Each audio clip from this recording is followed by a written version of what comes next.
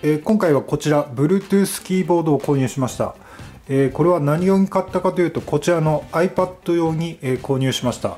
型番は TKFBP052BK まあ Windows になっても iOS になっても刻印通りの文字入力。指紋がつきにくい、えー、マット表面仕上げあと、スッキリの、えー、コンパクトサイズ。えー、省エネで、えー、約8ヶ月ですかね。えー、電池交換不要。タイプ密が少ないアイソレーションキー採用。あと iPad、iPhone 対応ということですね。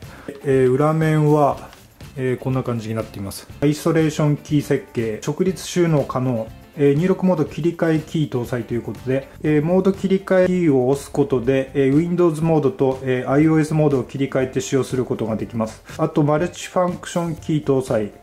アイコンが、え記載されているキーを押すことで、えボリューム操作やメディアプレイヤーなどの操作を行うことができます。え Bluetooth モジュールが内蔵されていないパソコンでも省レアダプターを購入していただければ、えご使用になることができますということで、えこういったアダプターも、え別売りであります Bluetooth のバージョンが3.0クラス2ですね対応電池は炭酸アルカリ電池炭酸マンガン電池、え炭酸ニッケル水素二次電池のいずれかの1本です。はい、えー、パッケージは以上になります。では開けてみましょう。おお小さいですね。おコンパクトです。あとキーボードとえー、これはマニュアルですね。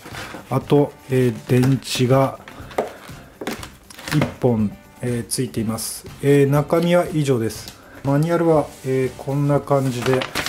裏面は、えこんな感じの説明書きがありますもう1個マニュアルがあって、えペアリングのマッキントッシュ版、えこんな感じですねではキーボード、え開けてみたいと思います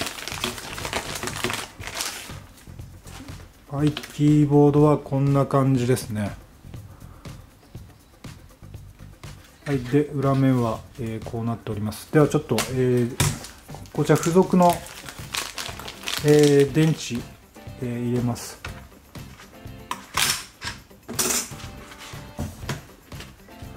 まあ、プラスで、えー、こういう形で入れまして、あと、これで、えー、閉じました。ちょうどキーボードの幅は、えー、この iPad Air と同じぐらいの幅になっていますね。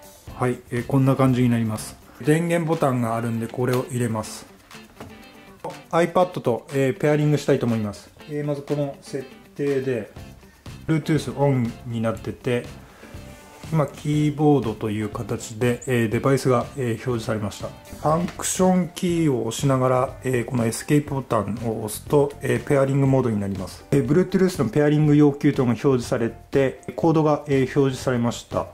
8855を入力してリターンキーを押してくださいということでちょっとやってみます。8855エンターですね。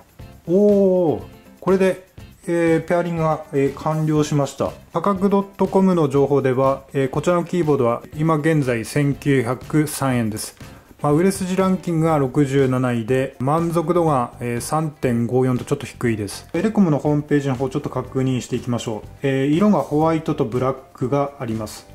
まあ、定価が4600円で、えー、税込みで4968円ですね。まあ、モード切り替えで Windows と iOS モードが切り替えられます。モード切り替えなんですが、モード1が Windows と、えー、一部の Android、えー、Macintosh、えー、モード2が iPhone、iPad、iPod Touch のモードなんですけれども、えー、モード切り替えは、えー、ファンクションキーを押しながら、えー、このタブボタンですね。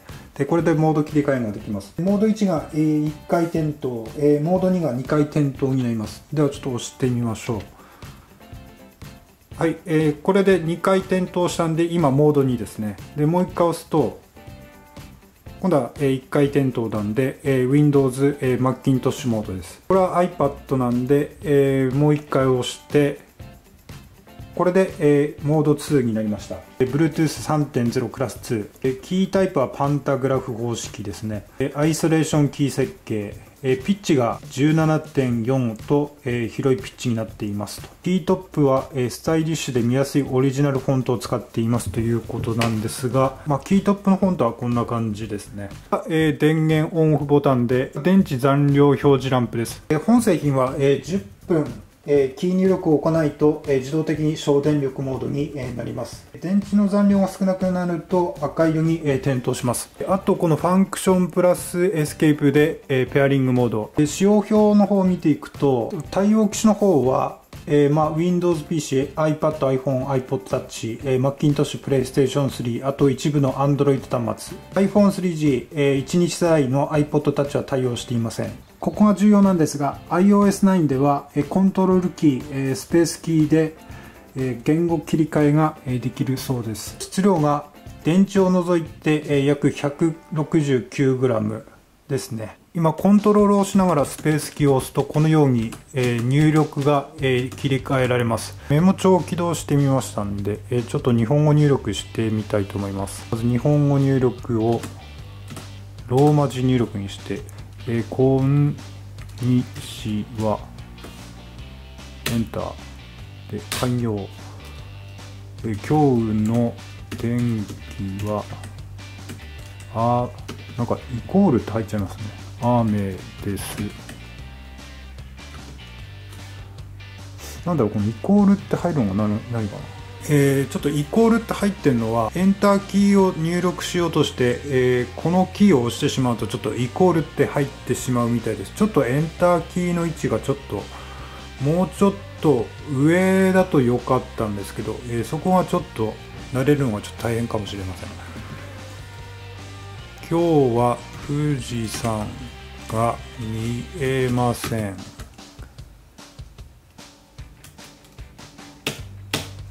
でこんな感じでキー入力できますね。あとシフトキーを押しながら、えー、こういった形で、えー、選択もできますね。でデリートキーあとバックスペースも、えー、効きます。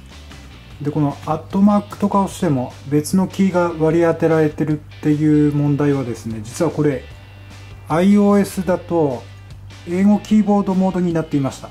英語キーボードなのでちょっと数字のキーを押していきたいと思います。数字の1数字の2数字の3数字の4数字の5数字の6数字の7 8 9 0ですね、えー、あとえー、イコールのボタンがアンダーバーみたいですね。あとアットマークのところがかカッコあとプラスですね、うん、あと L の隣プラス。あ L の隣はキーが割り当たってないです。あと矢印のところはあこれは、えーと、シフトキーを押すと、えー、大なり小なりって打てます。あとハテナ、スラッシュキーは、えー、シフトキーを押すとハテナみたいな感じですね。このキーボードは、え、このキーと、まあ、このキーが使えません。なので円マークは円と打って変換するしかないですね。この間膜キーが当点でえー、このピリオドキーが、えー、句点になっているのでこの辺は、えー、大丈夫です、えあとこのキーが、え中点になってます。iOS だと使いづらいのはキートップのキーと実際入力される文字が、え違うっていうところが結構あります。英語キーボードなんでちょっと慣れるのが、え大変かなと思います。あとファンクションキーですよね。ファンクションキーで例えばボリュームのえー、音量調整。あ、これ動きますね。えー、音量調整動きます。えー、あとですね、えファンクションキーで、え F8 を押すと、なんとホームボタンになってまして、え戻ることができます。あと、このファンクションプラスメール、えこれは効きませんね。あと、ファンクションプラスこの、これもなんか効かないです。Bluetooth の方の接続が切れましたんで、もう一回電源入れ直して、えこのように、え接続済みになりました。ちょっと音楽の方の再生ボタンの方を試してみたいと思います。えファンクションキーを押して F5 キーですね。おそうすると、えこんな感じで再生ができまして、あと曲送り、え、もできますね。あこれいいですねキーボードをつけた状態で、えー、とこの今使っているヘッドセット、えー、ペアリングしたいと思います、えー、ソニーの、えー、Bluetooth の、えー、ヘッドセットと、えー、キーボードが、えー、つながりましてまあ、キーボードとヘッドセットも、えー、接続することができました。Xperia Z3 の場合はこのキーボードの方はちょっと検索で出てきませんでしたね。なのでペアリングは、えー、できませんでした。うんちょっとこれは残念ですね。まあ、えー、今回はこの iPad 専用でこのキーボードを購入したんでまあこれとセットで使えれば、えー、問題はないです、えー、今回は以上になります。ご視聴ありがとうございました。